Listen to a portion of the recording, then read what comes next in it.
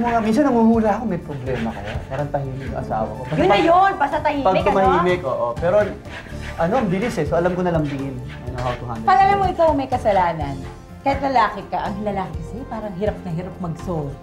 Ay, hindi. Alam Malaking problema yun sa kanila. Ako automatic. Oh, he if, I, how if I'm guilty, right, Right away, right away. Sorry ka kaagad. Oo. Kasi parang, panalo ka. naman. With, with meaning naman yung sorry mo. Oh, yeah. Kasi nga, ayoko yung mabigat eh. Ayoko yung